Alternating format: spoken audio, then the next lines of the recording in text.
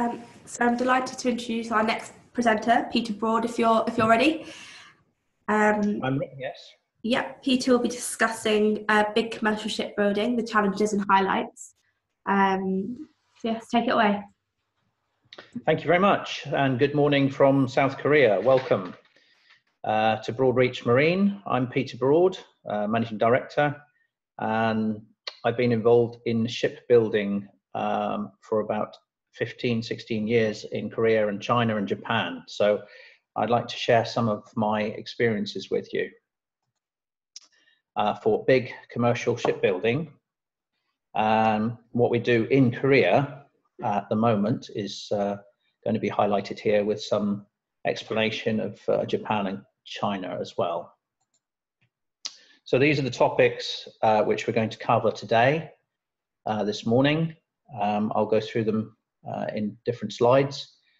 I will be trying to focus a little bit on the surveyor and what a surveyor does and who a surveyor is. So that's really hopefully going to bring out some good points for everybody. So I hope you can follow the presentation. So these are the areas we're going to talk about. And we start off, of course, with the owner. Um, why does he want to build a new ship? Um, the decision is purely commercial. Um, there is no point. Uh, he, he probably has not got a particular technical reason for building a ship. It will be commercial, which is the end of the day is to uh, move cargoes and make money. So uh, he quite often will not have technical experience for building, and he will need to use uh, technical managers or a third party uh, to help him in that process, which is where I come in, my experience, which is good news. Um, so we see here uh, the relationship between the owner and the shipyard, and then we'll have the technical managers and the class society as we go through. Um, so what does he want? He wants the ship on time, on specification, and on budget.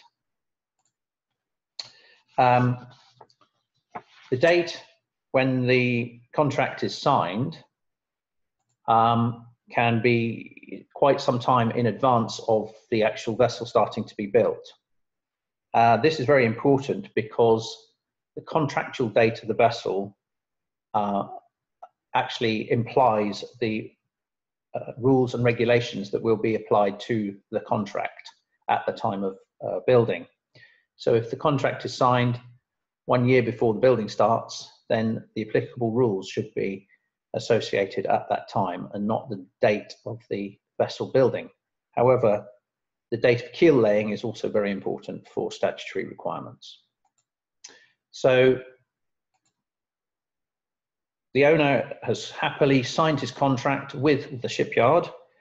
He then has to consider, perhaps he hasn't considered, but he has to consider how he's going to pay for his ship most ship owners don't use their own money, so they've got to borrow money from somewhere.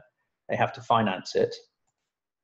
Um, there are various places that he can borrow money, uh, banks and institutions. And then, of course, uh, we have to consider the shipyard also needs some money up front as a stage payment to start buying and procuring the components to build the ship and the materials to build the ship. Some shipyards um, are government funded, um, particularly in China now, uh, and also still in Japan. So they will get some backing from uh, government to help them with shipbuilding projects. Um, in Korea, it's normally uh, some sort of uh, guarantee bank. Um, the shipyard always needs to have a refund guarantee. So if the project fails in any way, they can always pay back the owner's money uh, as part of the the deal as an insurance. So the refund guarantee needs to be in place. Then we move to the shipyard, of course. Uh, the shipyard has a huge task uh, for ordering the equipment and everything which is fit for purpose and must be approved for the marine industry. It's no good bringing something which you go and buy in Argos or Currys in the UK um, and placing it on board the ship because it probably won't be fit for purpose for the marine environment. So everything has to be approved. Um, in order to do that, we will be looking at the who, who's doing the approval, which will be normally the class society, but the obligation is for the shipyard to order the correct equipment from their vendors. And the vendors should have experience for uh, equipment in the marine industry. Um, the owners, of course, will want to know about the serviceability of the equipment, major components, uh, so they will have a, an input into the vendors list. And that will be part of the shipbuilding contract. Um, the owner will, of course, be interested in the maintenance of the vessel when she comes into service. So the vendors list and deciding who the components are going to be made by is very important. And they may have some service agreements for the major components with various vendors. So still using Korea as, a, as an example, if I may, um, who decides on the vendors, uh, who decides on the subcontractors, and who decides on the class society? Um, showing South Korea as our example, um, all of those can be uh, sourced from overseas. Uh, we receive um, a lot of uh, high-tech equipment from Japan, as well as coming from Korea itself.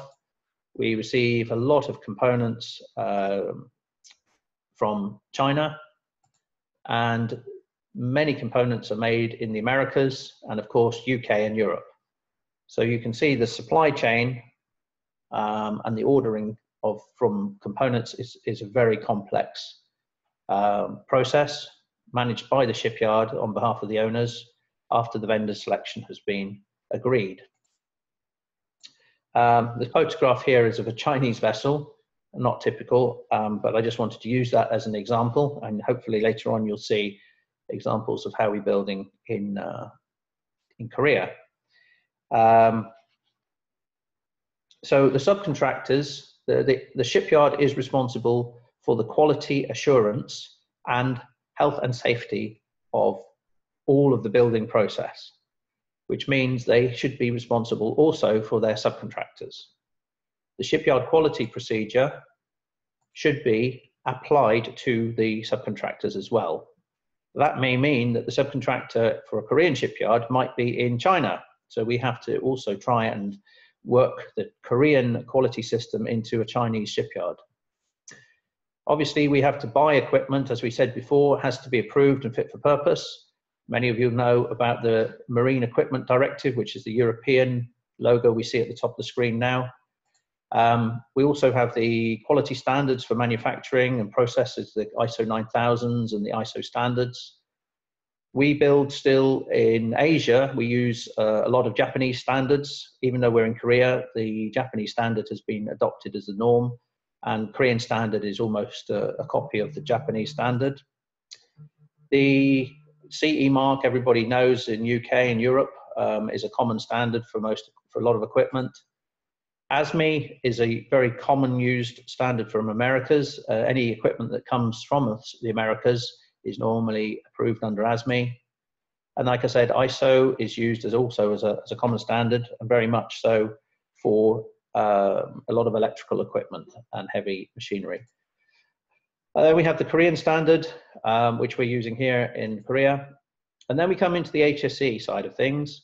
In the UK and Europe, you'll know about the Health and Safety Executive. Well, they would be responsible uh, to maintain and, and, supervise the standards of the shipyards. In Korea, we have KOSHA, Korean Occupational Safety and Health Authority, which is a government organization. Um, and then recently, there's been an initiative by all of the shipyards to try and standardize their uh, safety standards. Um, and that's coming under the KSSS, which is the Korean Shipyard Safety Standardization Program, which we are a partner in and helping to advise them on best practice. Um, so we should move on to the class society. Um, during the building phase, the class society is contracted by the shipyard. So many times the shipyard will have a preferred class society, and that may mean that they work well together, they have various good understandings together, but it also comes down to cost. And it is a commercial decision, very much a commercial decision, which influences the use of which class is used for the building. Um, the owner may, of course, have his preference for a class society, uh, but at that case, stage, the um, shipyard may have a different opinion and may impose additional cost if the owner wishes to use a particular class society, um, which is not the preferred one by the yard. But this is always something to be negotiated by the owner, and at the end of the day, uh, the owner can always transfer class on delivery. So there is always that option there. Not the best option, of course, but needless to say, it may mean that the owner can get his ship built maybe a million dollars cheaper if the uh, shipyard chooses a particular class society. So then we come on, we've been talking about the vendor selection. Um, we have to be, make sure that they're approved. All the ship's hull structure, propulsion equipment, navigation equipment, safety equipment, major auxiliaries have to be approved and uh, come from approved works and tested. So they have to be certified, which means most of the time would be a class society would have to certify them. It could be an independent body, but we have to look at the whole supply chain. Where do the parts come from to build our ship? We even have to consider where the raw material comes from, which is the iron ore. In this case, this is uh, dredging and coming from, uh, the iron ore is coming from Australia. And then the steel uh, for our shipbuilding is made in Japan and uh, Korea. Um, particular special grades for shipbuilding and smaller components, even valve bodies and the castings of valve bodies could be uh, very critical to get the right material for that. And of course, the bronzes and nickel bronzes that we use for propellers. So raw material and the supply chain and certifying and traceability right the way through the supply chain is very important. The responsibility for that is with the shipyard, but at the end of the day, we actually check where all of the components come from before uh, they're installed on the ship. It's a very, very complicated organization um, by the shipyard procurement. so everything has to be inspected. Um, by the vendor, they have the line QC, by the shipyard, their quality assurance department, by the surveyor, the class surveyor, and by the owners. So hopefully by the time the equipment arrives at the shipyard, it is certified and fit for purpose and probably being pre-tested. Um, every piece of the equipment coming into the shipyard and the blocks has to arrive in a timely manner, so it's not going to delay the production. And the shipyard is just basically uh, an assembly yard. So they bring all the components together in one place and build the ship. Here you can see um, blocks are being delivered on a heavy lift ship, um, which these blocks were made for a container vessel in China and then brought to Korea for assembly. You can see that's the main uh, midsection of a full container vessel. So all we have to do is put those blocks into the dock and weld them up, put the bow on and put the engine room and the accommodation on and we have a ship.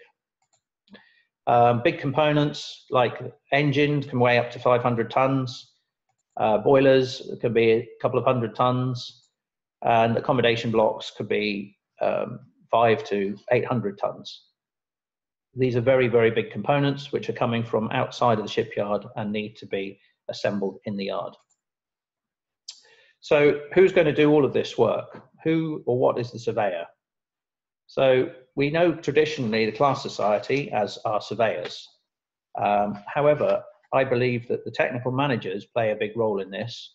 While their name is not surveyor, normally they're called inspectors, I think they do a very important role, which is extremely similar to a surveyor. So really, we're just from the technical manager to the site team. These probably employed to, employed uh, together. The technical managers will employ a site team. Maybe some of the owners would di directly. But anyway, they have responsibilities as surveyors. So we can see the class society will carry out mainly these functions, inspection at makers works, type approval, certification, plan approval, attendance at factory tests, um, site inspections, and certification at delivery. So that could be delivery of a component or and finally delivery of the vessel. So all the certificates have to be issued by the class society. However, we have the technical managers and the site team. There's a lovely site team, me standing in the middle with the dark glasses on. Uh, that was our last project. And we actually have the responsibility, very similar to class, um, and in many cases, we are checking um, what class is doing at the end with the delivery of certificates and making sure everything is on board, ready for delivery of the vessel on behalf of the owners. Also, our function is very important to train the crew um, in the new vessels that they're going to be taking over. So part of our responsibility is the handover of the vessel to the operations department and getting her ready to sail. Um, plan approval is also a process which is carried out both by class and the owners. Uh, we obviously have some very specialist uh, technical people. For example, here we can see a FMEA, failure mode effect analysis, where they're using a mesh facility here and computer modeling uh, for the high stress areas. This is done in part by the shipyard, but it has to be checked again by a third party, normally the class. Uh, the owner's team, technical managers, will have a plan approval team, um, which uh, has to go through many, many drawings and return them to the shipyard. Um, many times the production cannot start until the plan approval drawings have been returned to the yard. So just as an example, uh, you can see here how many drawings might need to be approved for a particular ship type. Bulkers up to 220, tankers 250, LNGs I'm working on at the moment. Uh, we currently have 411 drawings to approve in about five months period, which is quite busy. Passenger ships could be even further, even more, many, many drawings for passenger ships. We normally get about six months uh, before the steel cutting to do the plan approval. So in Korea, uh, most shipyards uh, build all the hull blocks and major components uh, themselves, um, but they are, I say, bringing them in from subcontractors. So we have a specialist subcontractor who's making accommodation blocks and engine casings, and they will be brought to the yard. Um, so we have to look at the quality control. Here's a, here's a bow section, which is very complicated because it has a double curvature. Uh, this is built by another specialist subcontractor and then brought to the yard for assembly. Um, so, like I said, many some of the subcontractors may not even be in the same country. Uh, in our case, we have blocks that come from China, and we have to supervise the construction in China as well as uh, building the vessel in Korea. Um, the varying sizes of blocks, uh, it really depends on the craneage capacity of the shipyard um, and the ability of the subcontractors to lift them we can range from 100 tons to 1200, 1500 tons, depending on the craneage. Um, many of the blocks will be pre-outfitted and pre-painted before they arrive at the yard. So we only have to do these main seams when we weld them up in the shipyard. So here we are building the ship. All the blocks have been fabricated at the subcontractors. They're transported to the shipyard for the dock erection stage. Here's that picture again. These blocks will get offloaded and put into the building dock, and then the welding will be done by the shipyard workers. And then we have these blocks placed together and welded together. Again, we have some uh, lower part of the accommodation. This is about a 500 ton block getting loaded on top here onto the hull structure. Um, we have a floating crane here which can lift a 1500 ton blocks as you can see, we would be offloading these midsection blocks off a heavy lift ship and lifting them straight into the building dock like that. So I'd like to go to um,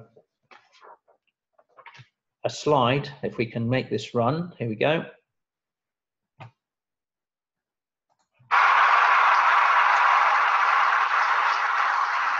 Here's one we prepared earlier. I hope everybody can see this.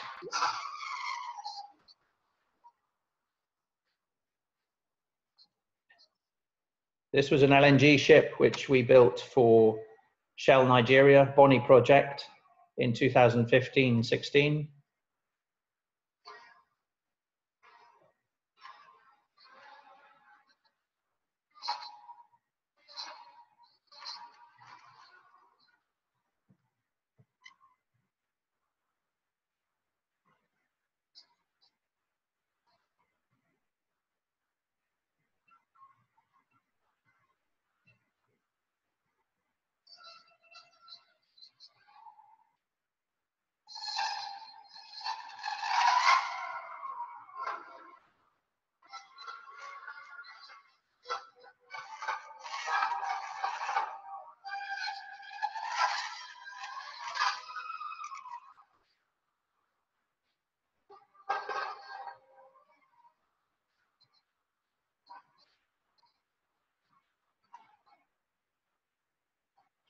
This is building over a period of about 12 weeks.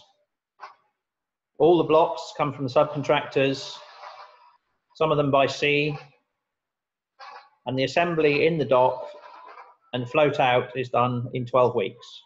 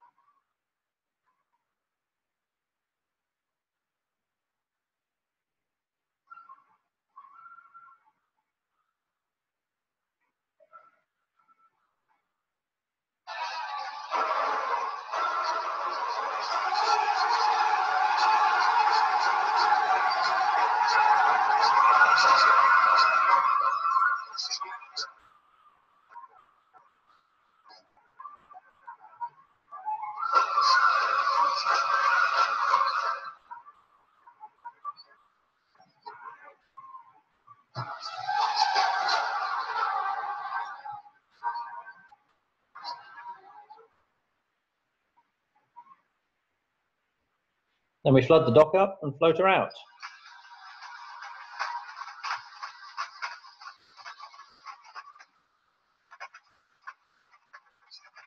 we built two the same. There we are.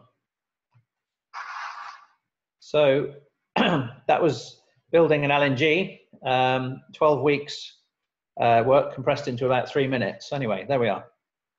So then we move to uh, the outfitting stage. Once the vessel is launched, we have several weeks alongside where there's uh, more outfitting to be done and commissioning before we can go to the sea trials. So you can saw there, after 12 weeks, we move to launching the vessel.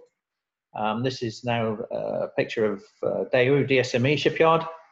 You can see the size of a LNG ship next to a Maersk um, container ship. This is a the the, the LNG is a 173,000 cubic meter LNG. So you can see the massive size of the Maersk vessel there. And then it's time to go to uh, sea trials to test, fully test the vessel before delivery. Um, this is a photo of the LNG ship, which uh, was the built in HHI um, for Shell Nigeria. Um, the sea trials are essential to confirm the propulsion and all auxiliary machinery and the safety and uh, navigation equipment. It's also very important for familiar, familiarization and uh, crew training. Many times this will be possibly the first time that the superintendent who is going to be responsible for the operation of the vessel may come to the building and actually see the vessel in operation. So we have a, a lot of time uh, necessary to hand over and familiarize the crew and the operations team of the vessels. Um, with an LNG and an LPG, often we will do a second trial, which will be called the gas trial. So we need to then test the cargo machinery actually with the liquefied gas. So once we've tested the propulsion machinery during the sea trial, we come back, and then a few weeks later we go away and we'll do another gas trial. So we have several weeks of trials at sea. Now I'd like to show you the video of, uh, if we can get this one to run. Let's see if this is going to go. There we go. This is on YouTube. This is a vessel which we delivered earlier this year. Um, she's called Patris. She was delivered for owners uh, Chandris, taken as a professional professional video for the owner's promotion. This is the vessel as she's just finishing in the dock prior to launching. She's on the, the left side of the picture. Sorry, Peter, to interrupt. We can't actually see that video. Okay, Um, can you, I'll stop it here. I did send you the link to it. Can you find that link? Uh, yeah, could I See, sharing yeah. quick? It's on the, showing on the slide now. Can you see that? www.youtube.com watch. Can you see that? yeah, we're just uh, grabbing it up now for you. Okay, thank you. It's about a five or six minute YouTube video. Ready, press control for me,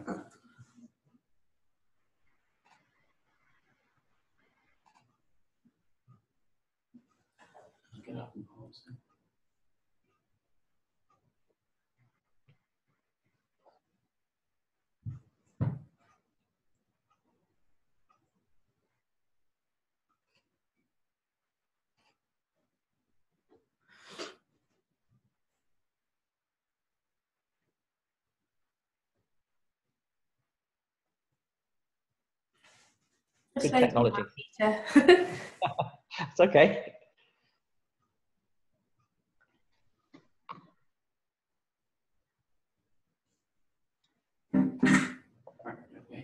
Okay. Okay.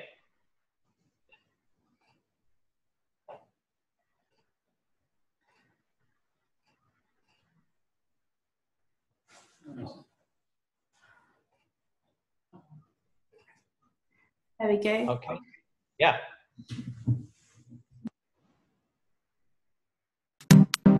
That's the one. Thank you very much.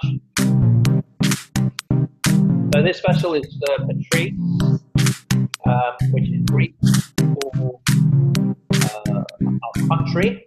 Um, it's a name which has been used by the Chandris' family for uh, five vessels. She's the latest to carry this name.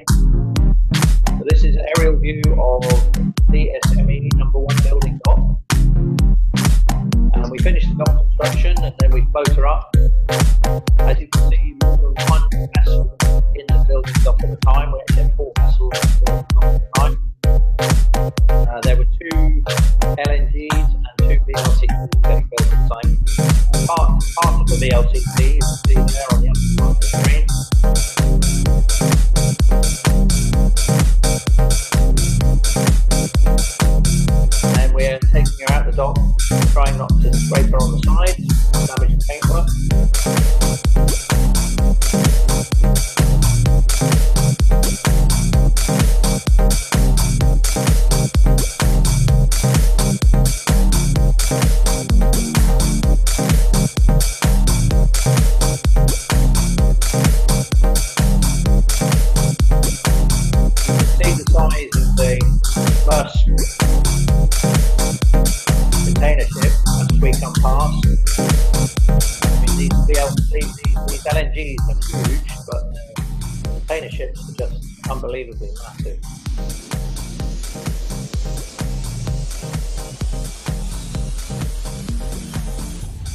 Not in the fully painted condition. Uh, you can see a lot of the primer coat is the brown color. The finished color will be the, the um, gray, gray top sides. Uh, this is normal. We can finish the finish the painting when we're on the lay by berth out further commissioning time.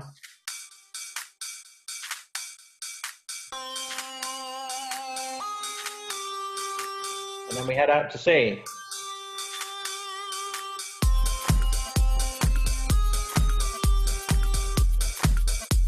Again an opportunity for us to help with the crew training and part of the handover process. testing everything, all the machinery, all of the navigation equipment, doing speed trials, maneuvering.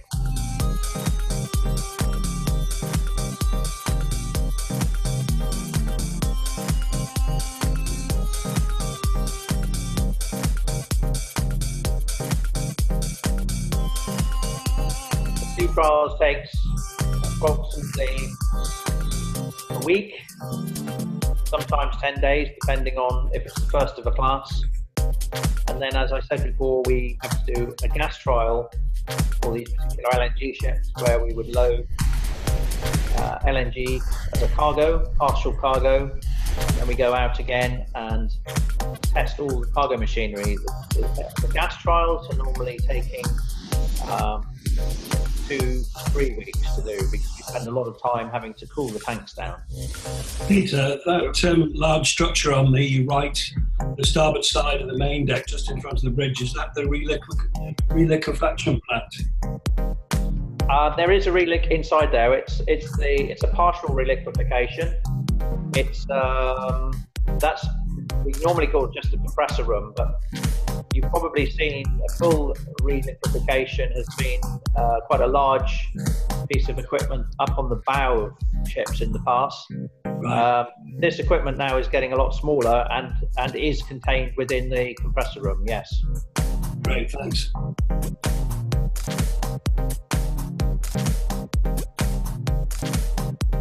So these ships are quite high performance. Um, their normal uh, operating speed is up around 18 and a half to 19 knots. They'll do about 22 knots uh, in a fully laden condition.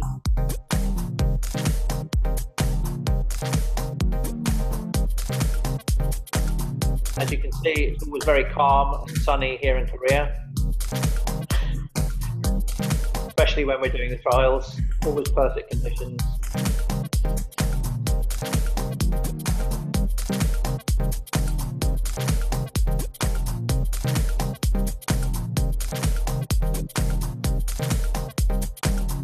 This a NO96 type of uh, containment system, which is used by DSME.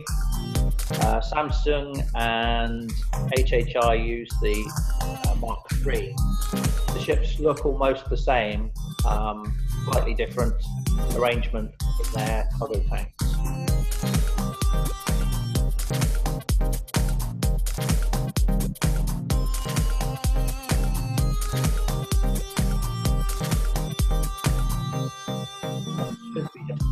An end now.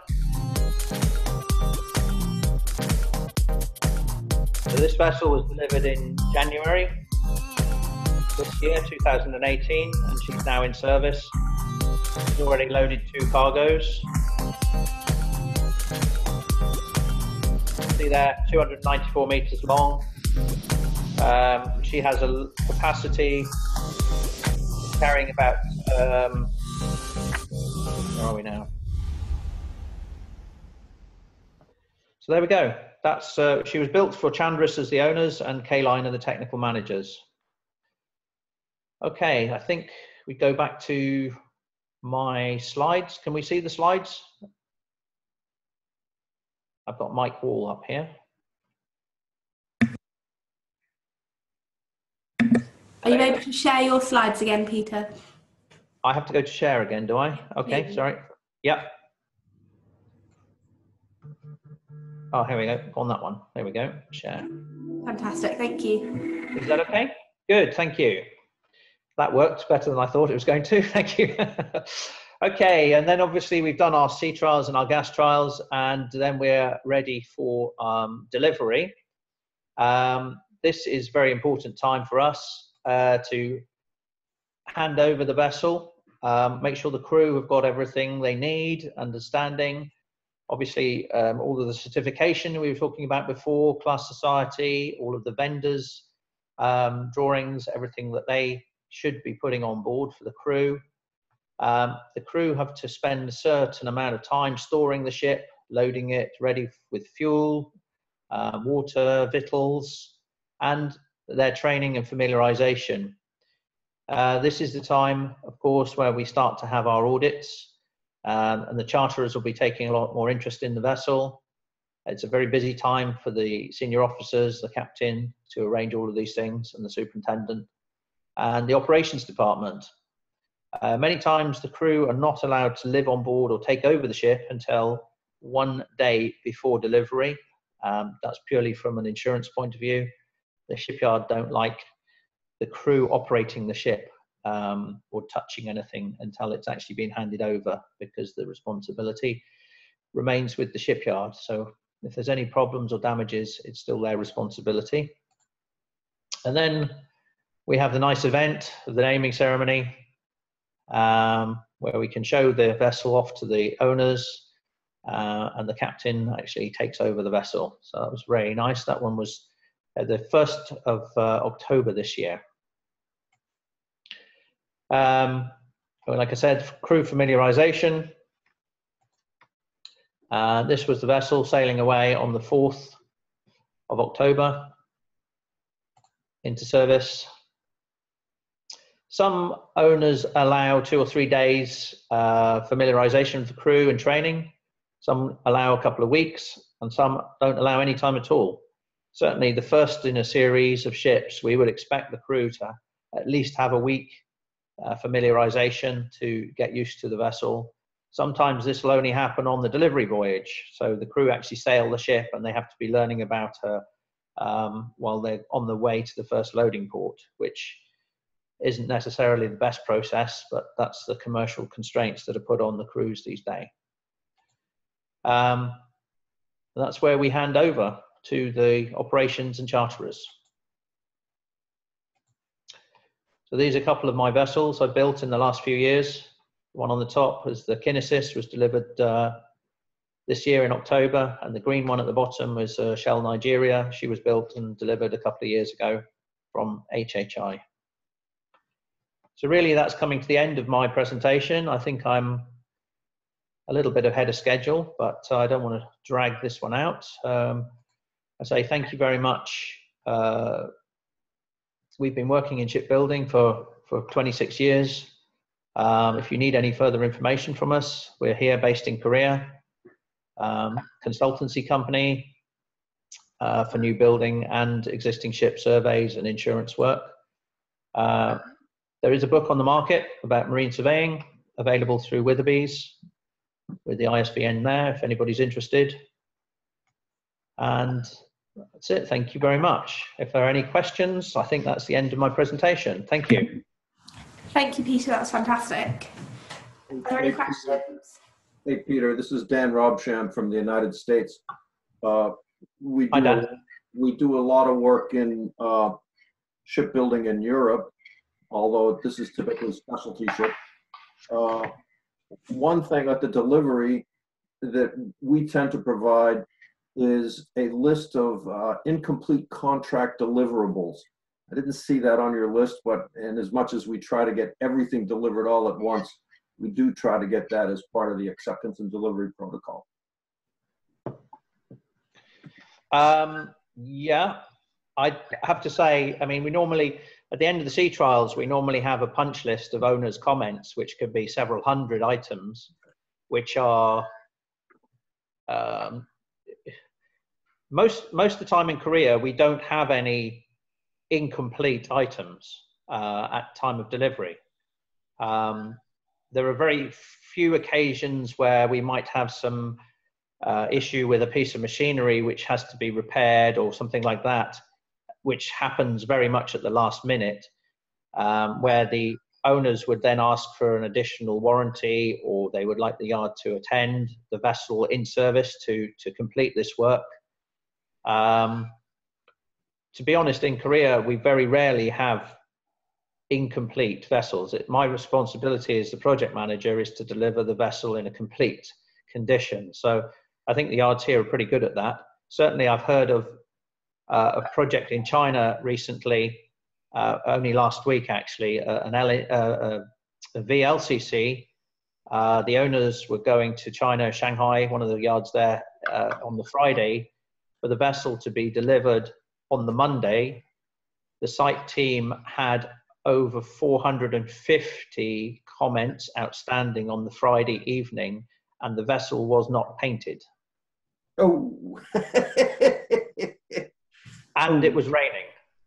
Yeah, I, I would I would say it. Uh, my experience is the the most niggling things are the trailing documentation, uh, as built plans, these type of things. I I I really like to get those documented as a as an incomplete deliverable if they are indeed not delivered into our hands in the agreed contractual method. So that's one thing. Uh, so I've had some owners that insist on the delivery of the vessel, uh, particularly in the passenger ship sector, because you have to you have to make uh, a cruise date, and it's just Yeah. not negotiable.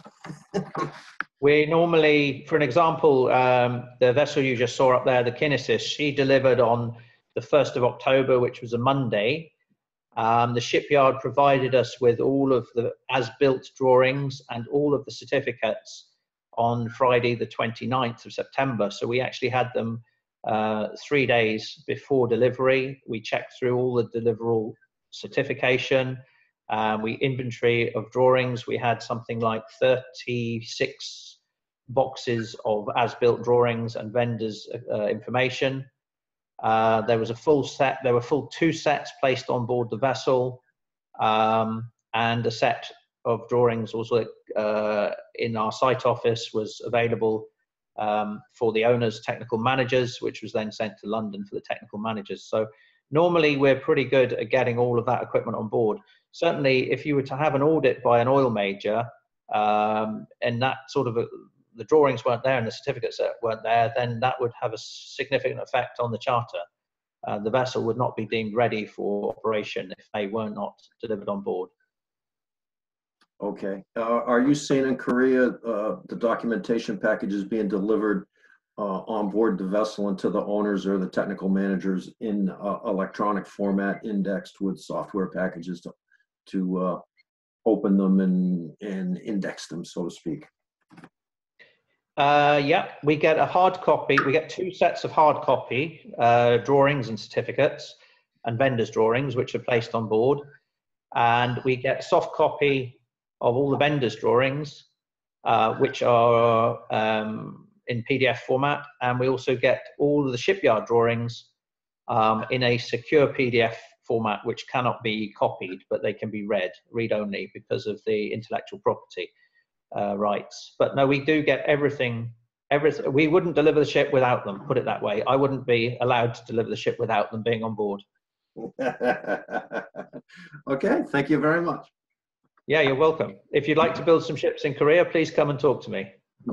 yeah, all right. I tell you what, I saw some photographs that I'd love to show some some of the production managers that I work with. I I really like the one photograph showing the pre-assembly of the staging uh, before the next uh, block got landed on top. I thought that was that was pretty slick. It's a specialist uh, thing that we do for LNGs, but um, it's very efficient. And there are a couple of specialist subcontractors. They're not yard. They're not the yard um, scaffolding team. Uh, they use specialist guys. They're very, very efficient and very good and very safe, which is which is wonderful to work with them actually. Yeah, yeah, no, it, it's it, it's super. Just these little time savers all the way along help everybody in the process. Thank you so Yeah. much. Great, great show. Thank you very much. Thanks for your feedback. Peter, Mike Wall. Um, I was involved in a shipbuilding project in Fiji back in 1992, where they were still using traditional rods, and because of the humidity, temperature, humidity, etc., they they weren't using hot boxes or anything, so that uh, they were having to re-weld seam three times and eventually having to cut material out because it was too brittle. I take it that now the Korean shipyards are using completely using TIG and MIG now and not rods anymore. Um, most of it is semi-automatic. Um, with the with the block construction, a lot of it is done in the shops, uh, in the in the building and fabricating areas. So it's done under very good controlled environments. Um, we still do have very high humidity uh, here in the summer, as you know, and high temperatures here in the summer. Um, but the equipment, I mean, it, it, if you're using a semi-automatic welding process, it tends to be um, hopper fed and automatic, and and it, it's very it's extremely well controlled. We do we do have our problems. I mean, uh, we have typhoons here, and we have uh, a lot of, of humidic problems, but not many big problems with welding defects now. Not at all. A lot there isn't a much. Only the what we call the dock erection seams. So you saw those blocks uh, that were on the back of the heavy lift ship, the, the midsection blocks for a container vessel. So they, we've got a ring joint, um, which has to go all the way around uh, transversely, uh, that that would be on the vertical sides and the uh, flat bottom. All of that would be uh, semi-automatic welding. So the only bit which would be manually done would be the turn of the bilge because we can't get the uh, welding machine to stick on there very well with the magnetic wheels. It tends, to, it tends to fall off. Um, Yeah. So no, the, the quality of the welding is is fantastic, and I would say the quality of the manual welding is also very well controlled. Um, and the rods, like you were saying, keeping them in in uh, hot boxes and things like that. We actually have uh, controlled hot boxes on board and in the dock, and you know close to the welding process. So it's it's pretty well controlled here. Yeah. Um, in China, because I, I was a surveyor in Hong Kong for nearly 20 years and spent a lot of time in China and Korea and Japan, um, the, the problem you've got, of course, is the quality of workmanship. And in China, you need to have at least 10 superintendents on board to be monitoring what's going on. How does that compare with what's going on in Korea? Um, our average site team for uh, one vessel, if all the blocks are built in Korea, the average site team is about 12 people. That's good. Um, I would probably have a couple of hull inspectors and a couple of paint guys because obviously they're the front end of the work, and then we would bring in uh, machinery, electrical, um, and so on. With the LNGs, we have to have a couple of guys for containment as well. But for, for one vessel, we could probably probably about 12 people would be su- sufficient. If we've got blocks overseas, which we've got at the moment, we've got China, we're getting blocks built in China. I have two hull inspectors and two paint inspectors actually staying in the yard in China full time. Yippee. They're okay, it's doing a good job. Okay. Thank you thanks very much. we'll, we'll stop it there and, uh, get ready for the next, next presentation. Uh, thank you so, so much, Peter. Um, Thank you. We'll be back in uh, 15 minutes with Ken Livingston. Thank you very much. Thanks for your feedback as well.